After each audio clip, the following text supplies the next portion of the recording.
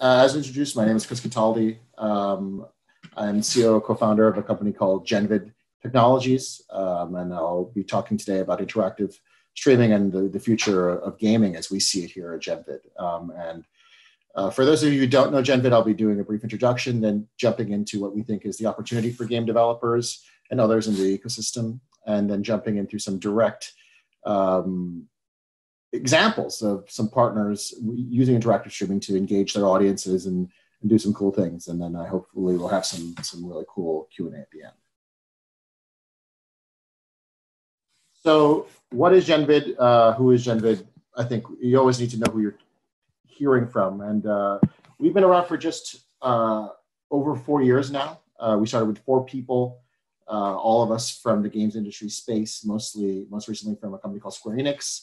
Uh, we're involved with the, the cloud gaming subsidiary uh, called Shinra Technologies. And we've grown into a team of more than 50 people in six different locations in four, hmm, in this case now just three countries. Oh, well, depends on how you look at it, but in many countries uh, spanning North America, Europe, and, and, and Asia. Uh, we've uh, in the last few weeks uh, announced some additional financing from some very welcome and awesome partners, uh, be it Huya in China, Samsung in Korea, uh, NTT Docomo in Japan, and who are joining our existing venture capital investors, uh, be it Mar- um, Galaxy Interactive, Makers Fund, Horizons Ventures, March Capital, and OCA. I always like showing uh, a, a, group of, uh, this slide that showcases the, the, awesome group of people that I work with um, in, in those offices. If it wasn't for them, I would just be a crazy person ranting. And because of them, I'm a crazy person ranting with some actual uh, meat on, on my rants. So thank you for all of them.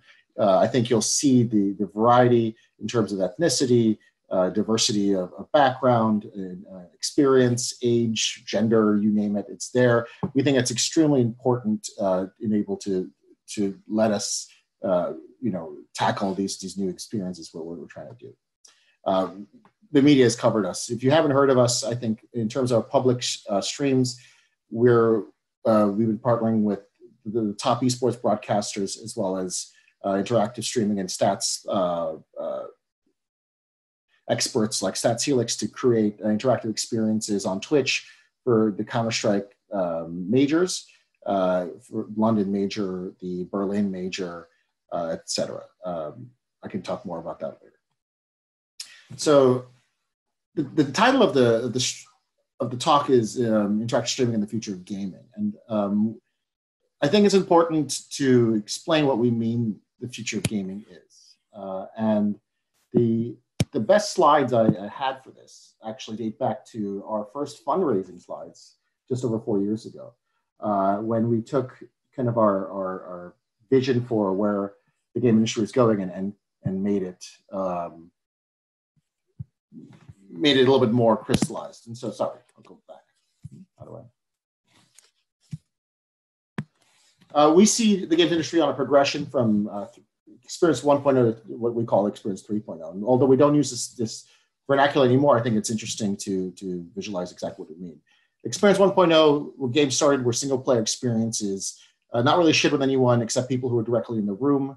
Uh, and they were made on a purpose built set of hardware that was local. Uh, when we went from experience 1.0 2.0 and 2.0 we uh, uh, define as this multiplayer component where people are still playing the same game. Um, the game hardware runtime hardware is a little bit more modular but people are able to interact on that uh, with each other with people from different kinds of, of, backgrounds but they're still fundamentally playing the same kind of game on the same kind of hardware. Uh, um, and where we're on the tradition transition point now between 2.0 and 3.0 is this idea that we have people interacting via game uh, experiences on different kinds of hardware. And in fact, the kinds of game interactions they're having is also quite different. So if you're playing Fortnite on, uh, and right now we're in a transition, we're in a transition between 2.0 and 3.0. So most of the facets of 3.0, we're still trying to facilitate here at Genvid uh, and, and with our partners. Uh, we're still pretty much in the 2.0, but you're starting to hear uh, these ideas of cross-play uh, people, uh, what, what is the, you know, well, game uh, interactive, you know, element for, for, for example, Fortnite, you know, you have crossplay between mobile, PC, on, all, and, and, console. Um, yeah, what we're trying to understand here is what what can we facilitate more here? And uh, for the most part, the, the gaming um, experience on mobile um, shouldn't be the exact same as it should be on PC or console, mostly because they're different kinds of hardware. And for games to be um, specifically successful, they need to cater to the individual hardware runtime that they're on. And uh, while some games lend themselves more towards that, other games you can't directly you know, expect to, to have the same kind of seamless interactivity, and we're trying to address that. Um, where we see games going with, with uh, trends in connectivity, processing power, and, and, what we call evolving play style is new kinds of games that are u- uh, ubiquitous access that have multiple levels of meaningful engagement and then are, are just massively social and massive participation. Uh, and there's we see a gradient of, of interaction that isn't just play. Uh, and this is an opportunity for everyone in the ecosystem because play has defined the gaming industry up until now and will continue to define the gaming industry, but it shouldn't limit the gaming industry. And uh, to talk a little bit more about that, I think you need to see uh, exactly what we do. So, in, in general, we see gaming as a uh, component of what we see as the uh, you know the, the, the conflation of uh, two very big types of, of interactivity or, or, or, content games and media. So traditionally games have been you know uniquely interactive and focus on a specific demographic whereas media has been not necessarily interactive but more more mass audience uh, and interactive streaming as as you know whether you're thinking of bandersnatch or you're thinking of all of these, um, you, you, can even talk about the, the, Zoom revolution as an example of streaming that's interactive, right? I'm talking here, people are asking questions. Um, long story short, we see um, both sides moving towards each other. Games are trying to become more mass market, media is trying to become more interactive, and interactive streaming itself is a really cool, interesting, uh, harmonious uh, confluence of the two. And it's an opportunity therefore there. Um, but in order for games to fully disrupt, and, and we would get think that the game developers are in the driving seat here, we need to take some hints from what we uh, see to be success in traditional media. Uh, and traditional media has a, again, if you go back to the idea that traditional media is more massive and more and more participatory, uh, there's a service design that's inherent there that games currently don't have. And that's in general a focus beyond just player.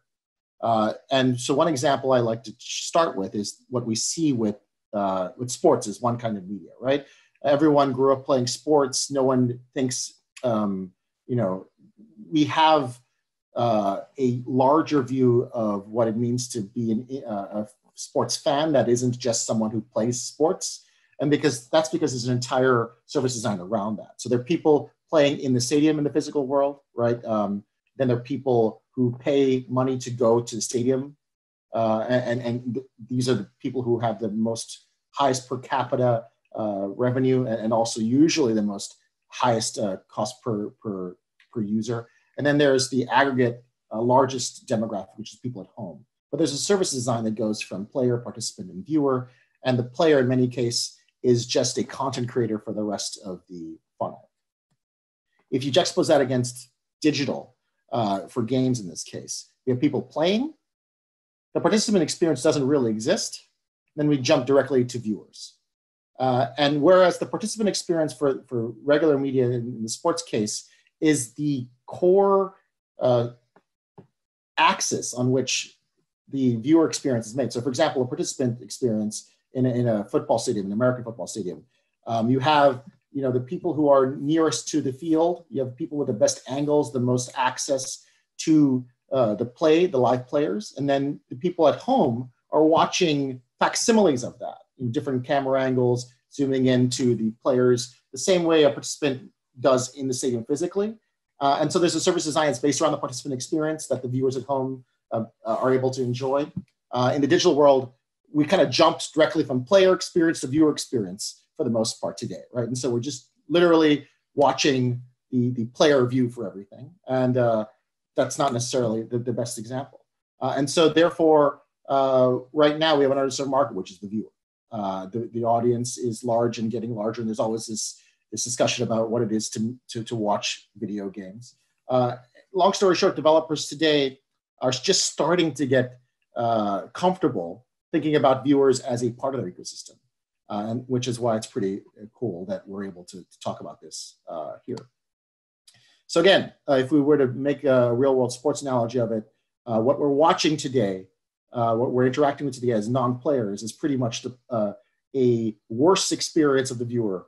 Uh, we're seeing the player, sorry, of the player. We're seeing the player's perspective. We're able to kind of jump around from those. We're see, able to see replays, but we're not necessarily able to see the whole dynamic, um, you know, experience that the people in the stadium would see. And I apologize for jumping from football to, to baseball, but in America, that's what we do.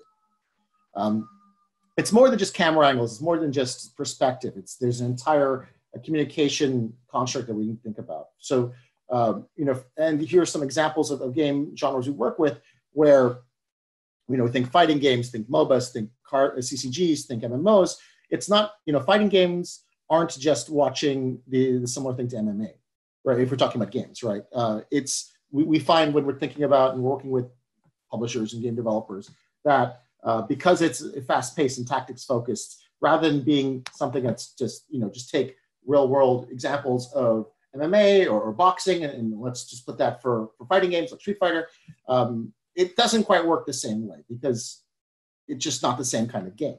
Um, it's actually more akin to something like badminton, uh, where you have a big focus on replay, big focus on, on stats, um, and a big focus on the individuals is there and creating a narrative around that. And in the interest of time, I'll, I'll, I'll fast forward through this, but the same sort of thinking where we don't get fooled by the visuals, we get fooled by the actual core concept of the, of the experience that we're watching actually does come into big play. And uh, the, the, golf thing at the end for MMOs, if you think about it, watching an MMO is kind of like golf. Uh, we'll, we'll, talk about that. There's, anyway. Um, so again, we're focused here on, on that participant experience uh, at Genvid and, and, a lot of our partners in that by, by focusing on creating a value-driven participant experience that has multiple layers of engagement that affects what they're watching, we can create a really cool funnel that benefits everyone in the ecosystem, be players and be viewers. So again, think of the physical world. Players aren't paying, they're being paid for the most part. Participants are paying the most, but having the most fun. And because they're there, because that stadium is there, you have the digital or, or, or the more remote experience that the viewers have at home that in, in this case are driving the most revenue from broadcast rights, sponsorships, etc. And if you again think that think that same um, construct juxtapose that into digital, we have a cool, lot of cool opportunity there. And this is just another way of saying players are the current, uh, you know, core uh, demographic that game developers think about today. They're the only real monetized uh, segment today. Uh, interactive viewers, again, another way of saying participants, are the opportunity to create uh, value and revenue driving opportunities um, that developers who are creating, in general, game developers, what do we specialize in? We specialize in creating interactive experiences that we can monetize, right? Uh, and so if you if you think about interactive streaming as a as a, a sub contract of that, um, we can then create experiences that spectators who may not necessarily have that interactive ability, we can still create uh, awesome experiences for them. So what does that mean? What is interactive streaming, you might ask? And if you haven't checked out any of the, uh, the streams we power for, for Counter-Strike or, or, or, followed us in the news, uh, uh, let me explain what an interactive streamer can do. Uh, so for example, as a viewer, when I log into any game today, uh, if it's on a Genvid enabled stream and I don't know much about the game or I haven't played the game for a couple months, the game has evolved, right? The game is constantly evolving. That's the biggest difference between, again, physical and digital. But sports is that games are living, breathing uh, beings almost, right? And unless you have a high competency that you are gaining and then retaining through practice, you're unable to really understand what you're watching. Uh, so, I, I, you know, if you don't, if you look at any other media in the same prism, and you don't know much about sports, you don't know much about movies. Um, you don't know much about music, and that was the the core um, you know hurdle that enabled you to decide whether or not you want to go to a stadium.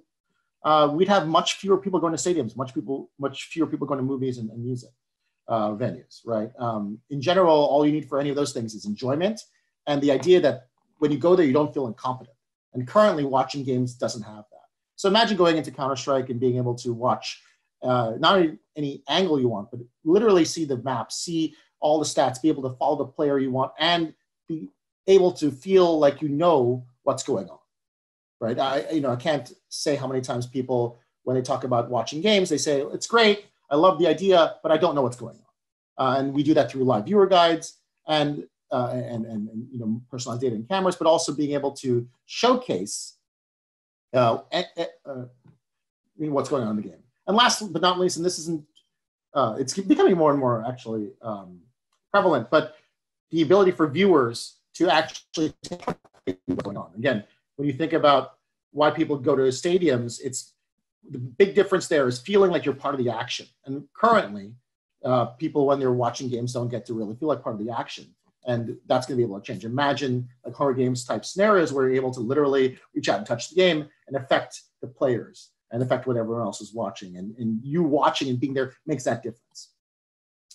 Uh, when thinking about types of interactivity we like to structure our thinking a little bit. Um, and the, the easiest tier that most developers and, and publishers when they start thinking about interactivity go into first is that informational tier. Again, going back to what does it mean to be a competent viewer? Uh, and it, you know, it's it's literally being able to go in and, and, see what's going on in the game, being able to toggle on and off uh, what's going on. The, the, equivalent of turning up and down volume uh, on your traditional broadcast, we should be able to turn up and down volume of, of stats and, and, and other data because that's all intrinsically there in the game, but it's kind of uh, currently trapped within the video. Next is customizable. And this is the idea that you have multiple types of demographics, people supporting different players, people supporting different teams, people with different levels of literacy in the game. They should all get their own kind of custom experiences. And again, if you think about the digital stadium example, there are people who are there for the home team, the away team, there are people who are there in the corporate box, and there are just people there who are in the bleachers who are just diehard fans, uh, they're season ticket holders, et cetera. So we should be able to give customized experiences for viewers at home the same way. Uh, and in th that case, again, the easiest way to think about it is custom cameras or custom data feeds or, or, or you know, custom chat or custom cheer. Uh, these are all what we call customizable tier.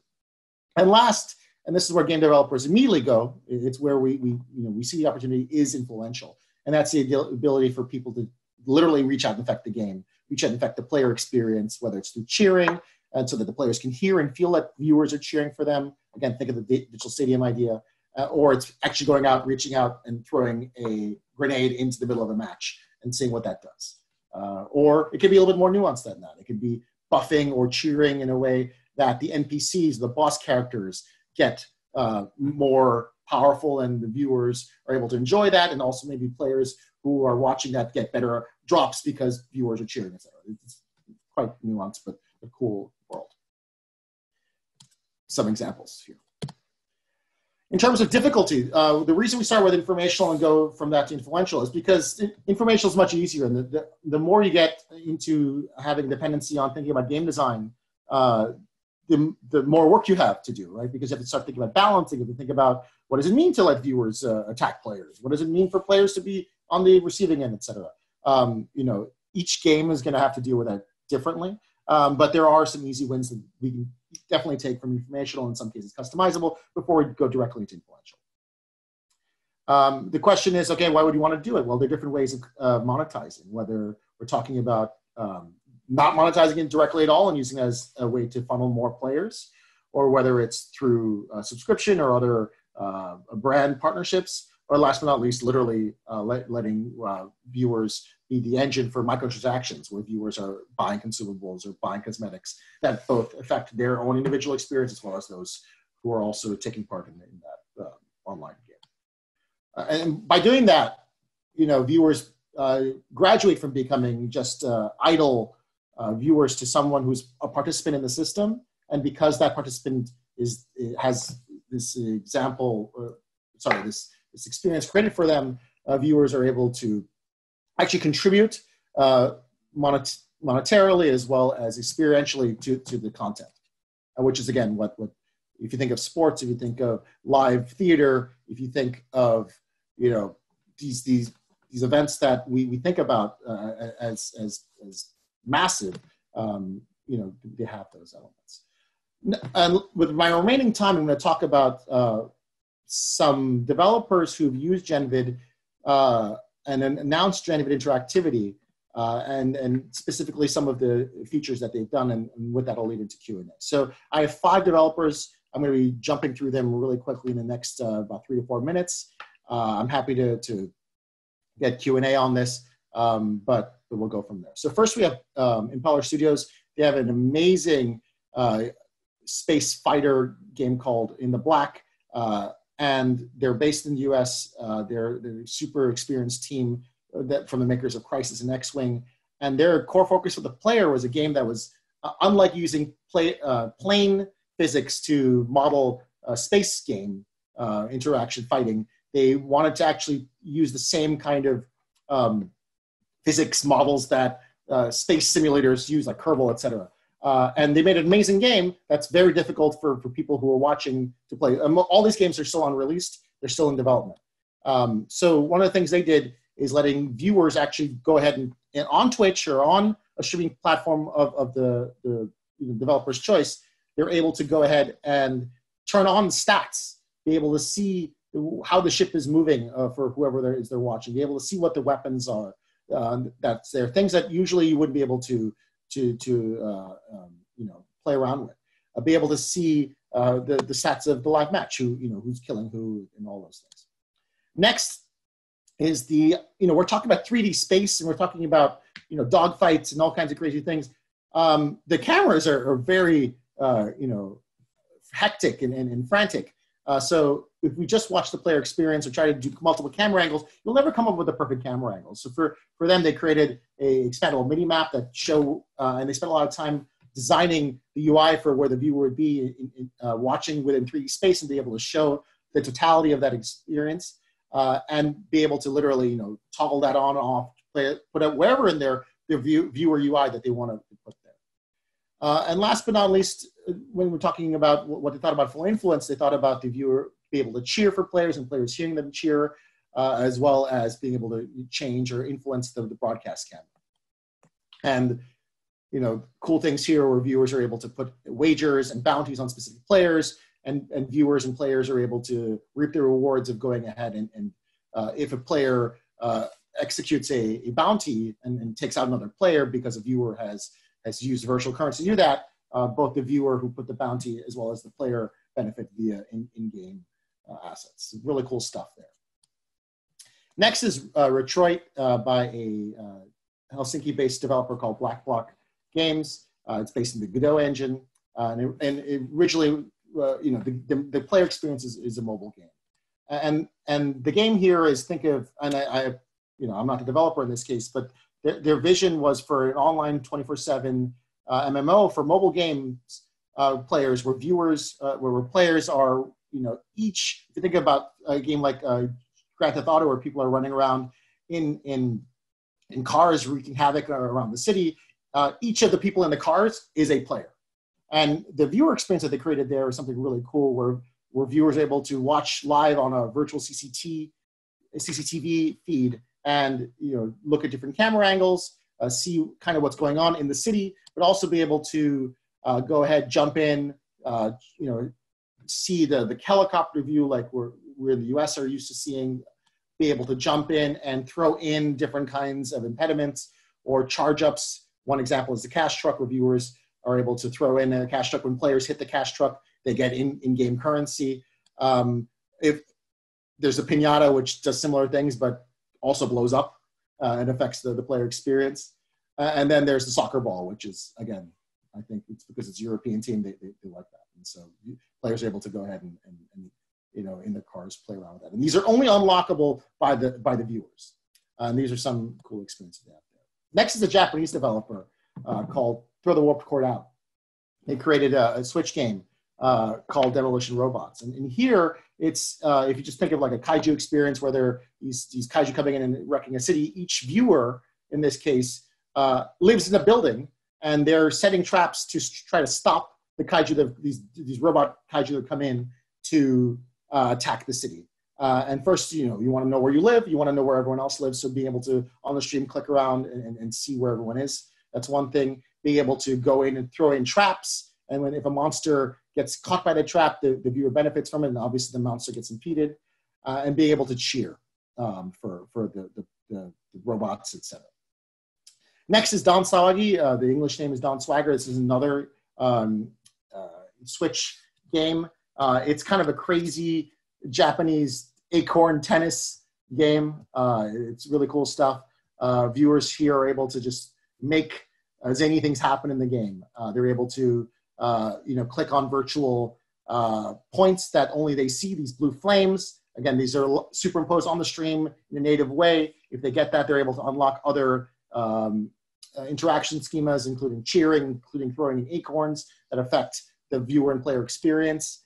Uh, and they're even able to cheer, and the viewers watching can experience that cheer. Uh, and spiked acorns are these kind of crazy things that affect um, zany things happen.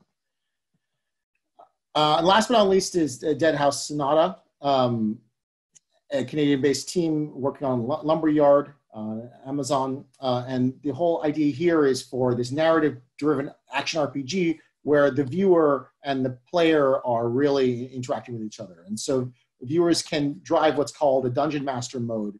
Uh, via voting, a specific viewer is chosen to be the dungeon master and, and literally as a dungeon master be able to upgrade what's going on in the, in the game. Uh, and they're able to uh, control NPC movements, control traps, do all kinds of crazy things um, that affect the players and, and, the experience. And it's only unlockable by these viewers. Uh, a lot of examples here of doors and literally think about everything a, a, a, dungeon master can do. Now someone on Twitch could do that. Um, and so we're still early. Most of these games are still in development. Um, most of the interactivities currently focus on esports. Um, but developers in the driving seat and, and, and we at GenVid are really interested in, in, seeing what we can do to drive this transition from just play to interactive viewing being, being a part of that system and driving any kind of ecosystem. With that, I think I've got two minutes of Q&A of which I'm happy to you you perfectly timed it. You went right up to the edge. You go. You've, you've got up at five thirty. You demand as much time as you damn well want, Chris. um, so um, yeah, we've got some questions. I think it's brilliant. I'm, I'm, I'm it's really exciting. Um, how how you know there's a whole new, as you say, a whole new era, a whole new part of the games world where players can generally interact in, in, in, in kind of uh, esports or live kind of competition. I, I think it's, mm-hmm. it's, it's fascinating. And right now, of course, there's a lot more people looking for engagement than there, there ever has Absolutely. been. Absolutely. So. Uh, I mean, I'll, I'll, just briefly want to say one thing. I think, um, at least in the US, we've been watching lots of uh, entertainers who are used to live audience uh, interaction, whether it's our, our late night shows or comedians or, or what have you.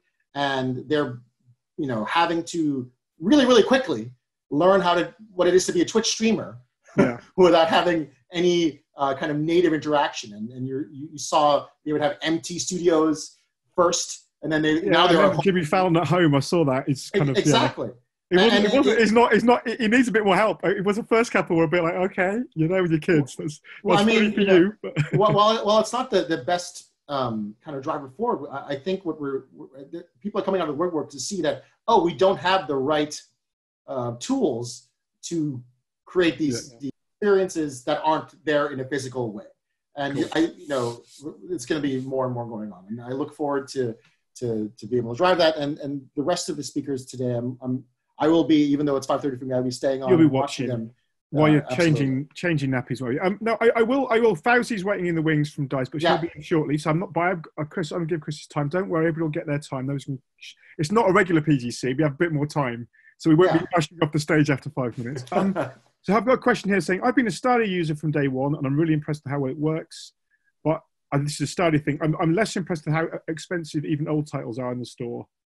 What can we do to prevent greedy platform holders from price gouging? I know that's not really your service, but I guess. Well, I mean, I, I, I, worked in cloud gaming for a long time. I think uh, without casting dispersions or, or, picking winners and losers or, or, or anyone, I think in the end of the day, when we go from a physical based media to digital media, um, before we even went online, um, or when we change media types, uh, enough value has to be there. So we can't just focus on catalog. We need to make sure that people who are, are payers are, are feeling that they're getting value for their money, whether or not that means a subscription pay, pay for eat all you can eat or not really um, depends on the, the kind of strategy for each company. I, I do believe that um, the promise of Stadia and, and all, for all cloud gaming isn't just recycling old catalog or being another console, but creating new kinds of um, experiences that uh, the people who that are unique to cloud gaming. Uh, and uh, it's still early in that, in that regard, and I think everyone in the space agrees on that. And I think that's the one way you're going to to, okay. to answer the, the price gouging concerns is to create new experiences because once a new experience is created, there's new value created from that. Fair enough. I'm going to get at least a couple more questions. Yeah. Here's a good question. How, how do you counteract cheating with a view like this? What would stop someone from relaying extra tactical information to players playing the game as someone's taking this very seriously? Because obviously a pro esports player in here. Totally. And the answer to that is how do we do that in the real world? Uh, and, and the answer is we divide who gets access to what data uh, and we create. So, for example, we, we don't stream every baseball game in the world, right? We just don't do that. We, we stream yeah. certain baseball games, uh, and the people who are watching at home, uh, unless there's usually some sort of mitigatable delay that would stop the people, you know, in the stadium from hearing what's going on uh, and stealing signs, etc. Uh, long story short, there's an entire design around this so that the people um, who are making the experience make it so that you can't cheat. Um, and if you just take today's games and put all of the data there and, and let everyone watch it, there's going to be this idea, oh, well, then, you know, I can watch my friend's game and I can help them cheat. Well, the, the easiest answer to that is you take the sports paradigm, you only do it for professional games first, where people are already in soundproof booths sequestered off into a stadium anyway. And so they're not, you can't worry about them cheating. And then as developers get more and more comfortable with playing around with, with dynamics here, um, you, you eventually get to a place where if a player in, gets information from a, from a viewer, it's not cheating, it's part of the game design. and, and, and, the game so is, build, is, is it's like people yeah. build like pirating into distribution, right? It's free play. Yeah, exactly. Okay, yeah. so um, I've got I've got one final question. I can combine two into one. Um, mm-hmm. So um, and then I'm going to have to ish, head you into the digital ether to be interacted yeah. with by other people. Maybe I don't know. Uh, it, it, wasn't clear from the talk what services Genvid offers developers compare, compared to developing spectactomos themselves, and what your monetization model is. So maybe maybe they, they say, is the technology licensed? Are you taking a cut of the audience fueled revenues? Just explain how you work with the developer. There's also a question totally. coming up about how we can get in touch with you. So you've already got a potential partner in here, so it's good. Absolutely. So you can email me at chris at genvidtech.com or go to genvidtech website or speak to one of my, uh, any of my amazing counterparts in, in, in any of, uh, any of my uh, offices. Um, but also in terms of what Genvid offers, we started as an SDK. Our focus is on creating the tools that game developers can use to create these experiences. Our monetization, monetization model is super simple. We make it so that developers don't really have an excuse from that perspective not to use this. We're a simple uh, two-tier system. First tier is licensing. So if you use our tech, we don't pay a single dime until you start broadcasting uh, commercially. Uh, and then it's a, a per unique viewer per month model. So if no one watches, we get no money. If a lot of people watch, we get a very small amount of money. Uh, and then from that, if you start selling things through the stream, um, we do get a revenue share of what people buy through the stream. So if you have consumables, et cetera, that viewers are unlocking, and that's what viewers uh, are paying, and then that's new revenue for you, and therefore new revenue for us. We don't touch anything in the player at all. Uh, if, if you get a lot more players because of it, we don't. There's no some kind of weird system where Genvid takes um, credit for that kind of stuff. So cool.